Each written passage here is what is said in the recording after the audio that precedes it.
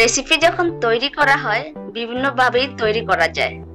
আর আজ আমি খুবই সহজে ওভেন ছাড়া তৈরি করে দেখাবো peanut butter bread roll recipe আসসালামু আলাইকুম welcome to my channel yummy BD food and blog তাহলে চলুন দেখে নেই খুবই সহজে কীভাবে আমি তৈরি করলাম এই রেসিপিটি আমি প্রথমে একটা মিক্সিং বল নিয়ে নিলাম।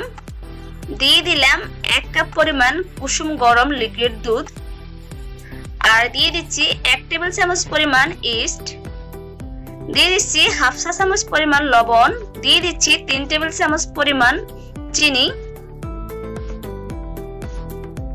দিয়ে দিচ্ছি হাফ কাপ পরিমাণ তেল ও একটা ডিমের সাদা অংশ।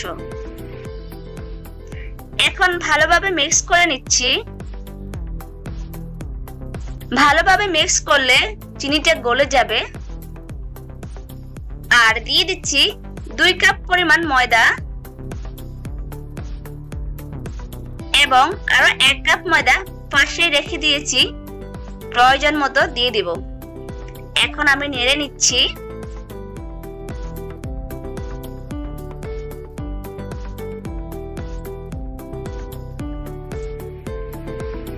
হাত দিয়ে ভালোভাবে পারফেক্ট একটা ডো তৈরি করে নিব।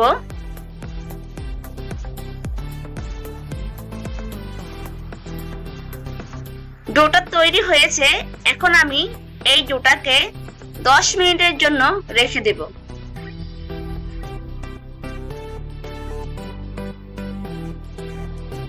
ফিরে আসলাম দশ মিনিট পর। এই ডোটা খুবই সফট হয়েছে। এখন আমি এই ডোটা দিয়ে একটা লম্বা আকারের রুটি তৈরি করে নিব। তাহলে চলুন দেখি নেই। কীভাবে আমি এই রুটিটা তৈরি করব, যদিও সবাই খুবই ভালোভাবে রুটি তৈরি করতে পারেন।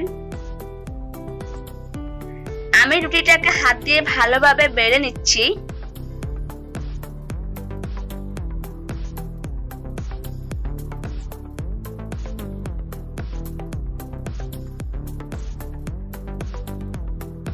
এখন রুটি তৈরি করব।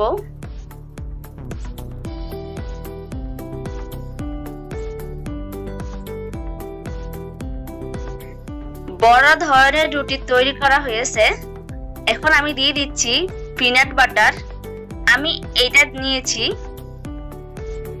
দিব রুটির উপরে।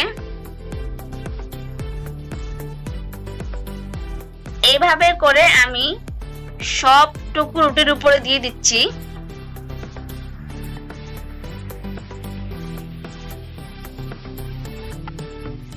ভালোভাবে রুটির উপরে দেওয়া হয়েছে। এখন দিয়ে দিব কালো জিরা। এটা জাস্ট অপশনাল কালো জিরার ফ্লেভারটা আমার খুবই ভালো লাগে, তাই আমি দিয়ে দিলাম। এবং দিয়ে দিচ্ছি সাদা তিল।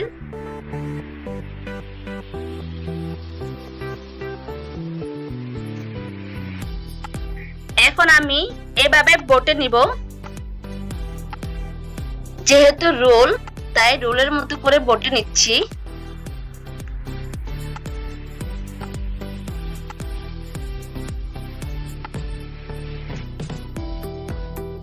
আমি একটা ফ্রিজার ট্রে রেডি করে নিয়েছি এইভাবে।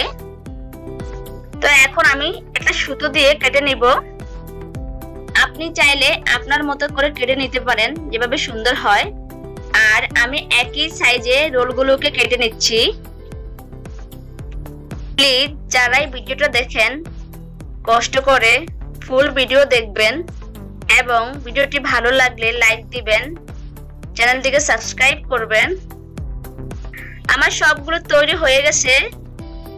এখন আমি ঢাকনা দিয়ে রেখে দেব এক ঘণ্টার জন্য।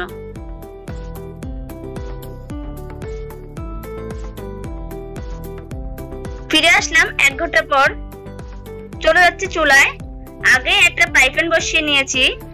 এখন দিয়ে দিচ্ছি স্ট্যান্ড। তার উপরে আমি এই ট্রেটার বসিয়ে দিলাম।